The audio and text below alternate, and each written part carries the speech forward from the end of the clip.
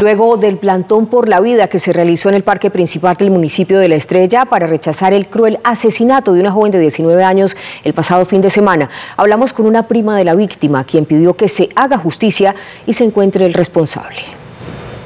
El dolor para la familia de Daniela es evidente. Con el paso de los días la ausencia se nota más y la pérdida de la joven aún no se logra aceptar en el corazón de sus seres queridos. Agradecemos todo el apoyo inmenso de todas las personas que estuvieron aquí. Este dolor es, es inmenso y no hay palabras para el agradecimiento que tenemos. Con la voz entrecortada, Lina Fernanda Berrío, en nombre de todos los familiares, pidieron a las autoridades no bajar la guardia con la investigación y dar con el paradero del responsable de quitarle la vida a una joven alegre y llena de vida. Por favor, se encuentre la persona o las personas que tuvieron que ver con esto, porque así no se le quita la vida a una persona y la, vida se respeta.